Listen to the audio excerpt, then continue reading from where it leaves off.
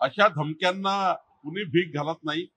केंद्र आणि राज्य सरकार दोन्ही सरकार हे सक्षम आहेत. माझं म्हणणं म्हणणंच नाही आहे.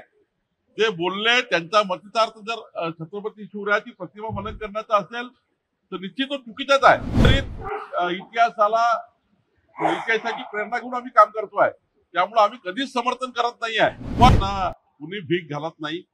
केंद्र आणि राज्य सरकार दोन्ही सरकार हे सक्षम आहेत आणि त्यामुळं अशी धमकी ज्यांनी दिली तर आमचे केंद्रीय गृहमंत्री अमित भाई आहे राज्यामध्ये देवेंद्रजी आहेत नक्कीच त्याचा शोध घेतील आणि चोक्षमोक्ष लावतील असं मला वाटतं.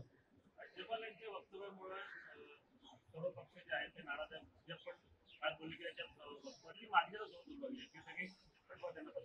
राज्यपाल महोदय ज्या दिवशीपासून महाराष्ट्रात आले त्या दिवशीपासून छत्रपती शिवरायांच्या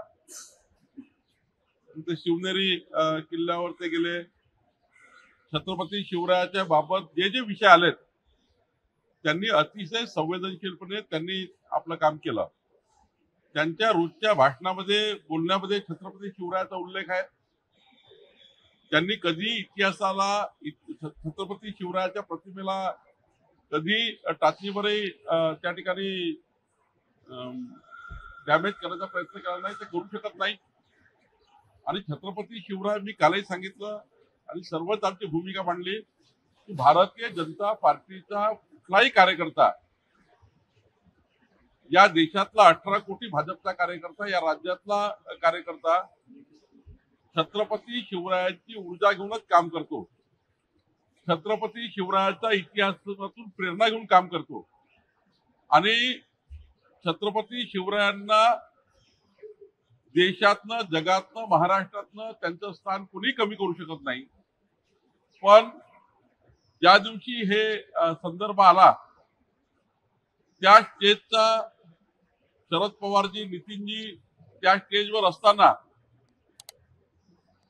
त्यांचा गौरव करणे ठीक आहे. पण त्या गौरवात एखादा त्यांच्या बोलण्यात जो सार आला त्यामध्ये छत्रपती शिवरायाची इतिहासावर प्रतिमेवर थोडा मोठ्या प्रमाणावर आकांतांडव झाला त्या बोलण्यावर. तर मी कालही म्हटलं की आम्ही सर्व स्वतः राज्यपाल आणि सर्व छत्रपती शिवरायांच्याच मावळ्यासारखे आम्ही काम करतो. त्यामुळं विरोधकांनी केवळ स्वातंत्र्यवीर सावरकरांच्या अत्यंत लाजीरवाण्या शब्दामध्ये राहुल गांधींची टीका केली. त्या विषयाला संपूर्ण महाराष्ट्राने निंदा केली. आणि त्या विषयाला सोडून त्या विषयावर मग जर उद्धवजीच्या सेनेला जर एवढंच त्या ठिकाणी हिंदुत्ववादी आणि छत्रपती शिवराय आणि वीर सावरकरांचा त्या ठिकाणी फरक नसता तर वीर सावरकरांच्या विषयावर जेव्हा राहुल गांधी वाईट बोलतात अपशब्द बोलतात त्यांचा इतिहास हा संपूर्ण जगाने आणि संपूर्ण देशाच्या स्वातंत्र्याला महान इतिहास आहे वीर सावरकरांचा. ते गळाभेट घेतात आदित्य ठाकरे. खर तर इतिहासावर कोणी आता जाऊ नये त्या विषयाला काढून पुढं पुढं त्या ठिकाणी मोठ्या प्रमाणावर अनेक विकासाचे कामं आहेत. महाराष्ट्राला पुढं न्यायचं आहे. आणि केवळ टीका टिप्पणी करण्याकरता आता खूप त्या ठिकाणी मला वाटतं महत्त्व देऊ नये.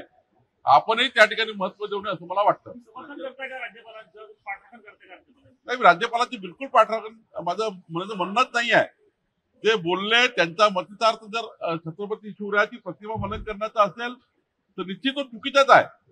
छत्रपती शिवरायांची प्रतिमा त्यांचा इतिहास त्यांचा जाजल्ब इतिहास आणि आमच्या सर्वांचं आमची जे भारतीय जनता पार्टीचं संघटन आणि संघटनेचं काम हे छत्रपती शिवरायांच्या एकंदरीत इतिहासाला इतिहासाची प्रेरणा घेऊन आम्ही काम करतोय. त्यामुळे आम्ही कधीच समर्थन करत नाही आहे पण राज्यपाल महोदय जॉईन झाल्यापासनं महाराष्ट्र झाल्यापासनं तुम्ही पन्नास उदाहरण सांगता येईल. की राज्यपाल महोदयांनी मग शिवनेरी किल्ल्यावर त्यांचा प्रवास असो की छत्रपती शिवाजी महाराज जयंतीच्या विषय असो वारंवार त्यांनी आपल्या कर्तृत्वातनं करणीतनं त्यांनी एक प्रूफ केला आहे. त्या दिवसाचा संदर्भ घेऊन त्या ठिकाणी त्यांना ज्या ठिकाणी त्यांच्या बोलण्यात जे आलं त्याबद्दलचं कुणी समर्थन करत नाही. पण राज्यपालाची भूमिका ही कधी छत्रपती शिवरायाच्या विरोधी राहिली नाही. रावसाहेब त्यावर संजय राऊत म्हणले की दोन महिन्यांनी सरकार जे आहे ते पडेल रावसाहेब दानवेजीने काय म्हटलं? की या राजकीय भानगडीत न पडता डेव्हलपमेंटचे काम आपण करू.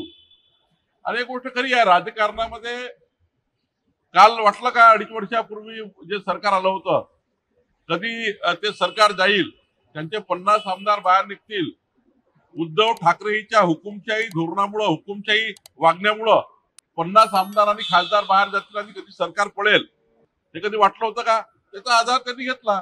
पण मला वाटतं पूर्ण वेळ सरकार चालणार आहे. मजबूत सरकार राजकारणातील प्रत्येक अचूक बातमीचे सर्वात आधी अपडेट्स मिळवण्यासाठी सरकारनामाच्या सर्व सोशल मीडिया प्लॅटफॉर्मला लाईक फॉलो आणि सबस्क्राईब करा. तसंच सर्व नोटिफिकेशनसाठी बेल आयकॉन प्रेस करायला विसरू नका.